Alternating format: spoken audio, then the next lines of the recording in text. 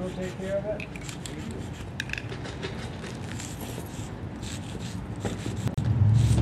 Can you read it? No. Vermin Supreme? Yeah, are you name? familiar? Are you familiar with Vermin Supreme? I am not. Uh, he's a candidate for office for president. What's that? He's a candidate for office for president. Candidate? Yeah, he Yeah? ran in uh, the Democratic primary here in New Hampshire, Mr. but Supreme, is that his name? Vermin Supreme. Vermin, Mr. Supreme then? Sure. Yeah. Okay. Where's he from? Massachusetts, I believe. Massachusetts? And he's running where? Well, everywhere, everywhere that he can run for president. Oh, he's running for president? All right.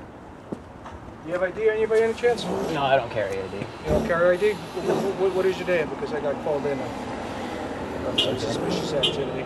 All right. Uh, Lucky's my badge number. what's your first name? My first name is Officer Pelliccia. That's, that's how we refer to each other here. You don't give me your first name? No? Okay. Well, I'll give you only my last name then. My Okay. name is Mr. Ian. Mr. Ian? Yes. E-A-N?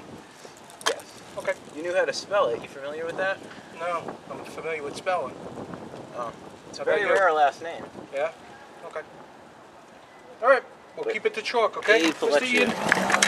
Thank you. You're welcome. Have a good day, sir. My first name's Garrett. Garrett?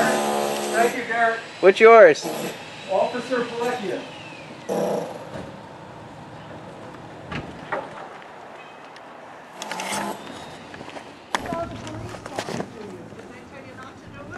No, he just came over and was like, "Make sure you keep it to chalk.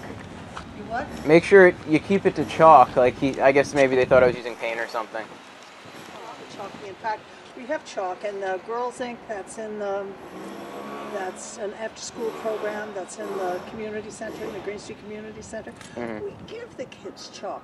They can do- do whatever they want. They put dragons and flowers and all kinds of stuff on the sidewalk. I think it's great.